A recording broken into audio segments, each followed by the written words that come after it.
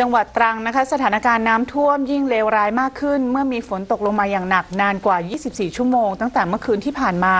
ทำให้น้ำท่วมยิ่งขยายวงกว้างออกไปในหลายพื้นที่ โดยที่หมู่ที่ 4ตำบลบางรัก และหมู่ที่ 1ตำบลนาตาล่วงอำเภอเมือง ระดับน้ำท่วมสูง 3-4 เมตร และมีบ้านเรือนนับร้อยหลังคาเรือน ถูกน้ำท่วมจมมิดหลังคา ชาวบ้านต้องอพยพมาอาศัยเต็นท์ที่ทางอบตจัดเตรียมไว้ให้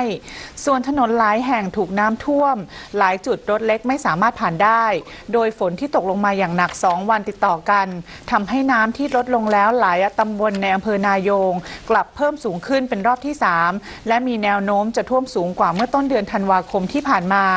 ทางจังหวัดประกาศเฝ้าระวังตลอด 24 ชั่วโมง ซึ่งจังหวัดตรังมีน้ำท่วมรวม 6 อำเภอ คือ รัศดา นายง วังวิเศษ กันตัง ห้วยยอด และอำเภอเมือง หรือกว่า 14,000 หลังคาเรือน ประชาชนเดือดร้อน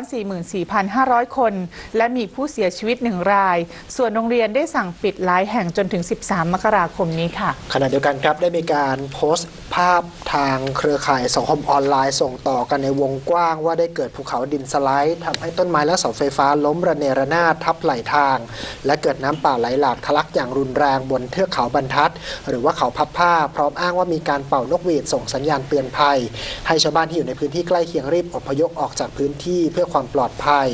รวมไปถึงการโพสต์ ภาพถนนที่มีการซุดตัวบนเทือกเขาบรรทัดฝั่งขาเข้าจังหวัดตรัง ว่ามีการซุดตัวและมีรอยรอยแยก ทั้งทั้งที่ทางแขวงทางหลวงตรังมีการดูแลซ่อมแซมแล้วตั้งแต่เมื่อวานนี้ครับการโพสต์ภาพดังกล่าวสร้างความหวาดวิตกให้กับประชาชน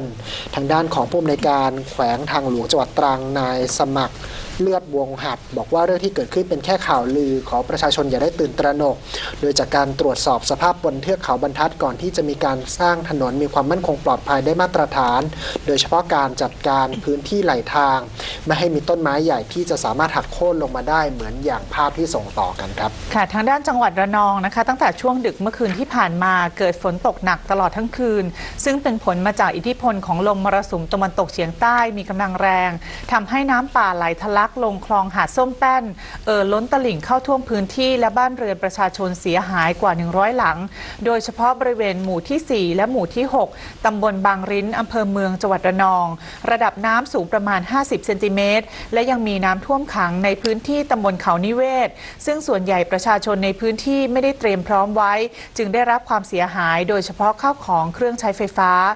เบื้องต้นผู้ว่าราชการจังหวัดระนอง นายจตุพจน์ปิยมปตุระ ได้สั่งการใหให้สำนักงานป้องกันและบรรเทาสาธารณภัย ประสานงานกับหน่วยเทศบาลตำบลบางริ้น เทศบาลเมืองระนอง และอำเภอเมืองระนอง เข้าช่วยเหลือประชาชนอย่างเร่งด่วนแล้วค่ะ